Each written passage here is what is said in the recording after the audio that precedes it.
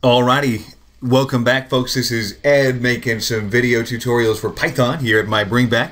In the last video we made an attempt to describe to you what classes are and what it lacked in eloquence and pithiness and made up for hopefully in simplicity. And so we're going to continue exploring what classes are in Python by taking a look today at class methods. So without further ado, let's take a peek.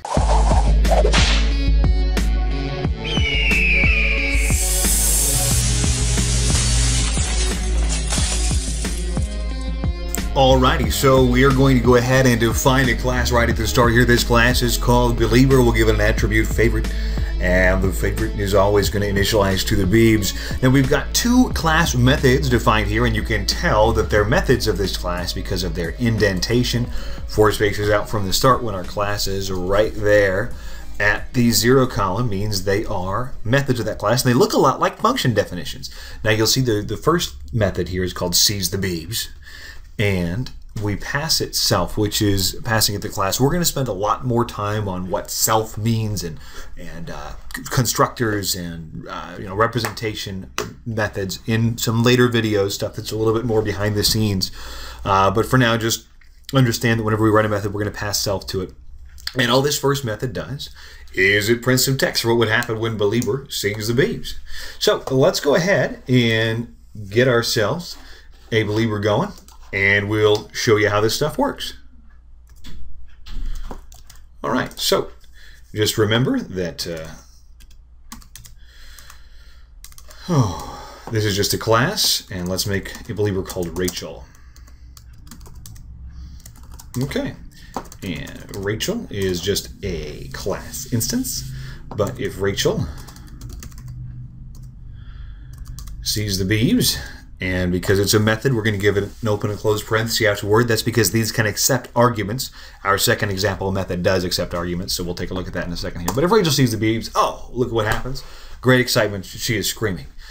And that's pretty simple. So uh, just to show you that you can accept arguments and do things with them, manipulate them, uh, we'll have Rachel uh, undertake some Twitter defense. Someone has been defaming the Beebs on Twitter, and she won't stand for this. In fact, it's your own, mybringback, undertaking this uh, defamation.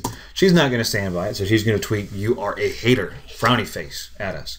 So, those are some very basic, rudimentary class methods whether we see the two working as they should. I want to show you something that maybe will help you understand the difference between a class and then instances of that class. So we saw when Rachel had, did some Twitter defense against mybringback, that the tweet popped out, or, or the you know fake tweet in this environment popped out with no trouble. But if we try to do that directly out of the class itself, so out of the Belieber class, Twitter defense, and we'll say come out against mybringback here, it'll throw us a type error.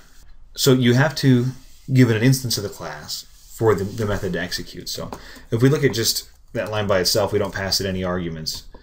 Uh, same thing will happen. If we take the parentheses off, it'll just show us uh, that it's a method, tell us what it is. But this is why instances of class are actual objects, and the class is just the blueprint, just the design, just the template. So hopefully that helps shed a little more light on this. I wanted to sort of make the video short and palatable, so we're exploring the concepts of classes and objects slowly and surely and incrementally throughout them. So stick with me. If I haven't covered something yet, have some faith that I'll get to it. And if not, let me know. So once again, this is Ed for mybringback. Appreciate you taking the time to watch these videos. Stick with us. We'll get you thinking in ways which you haven't yet imagined.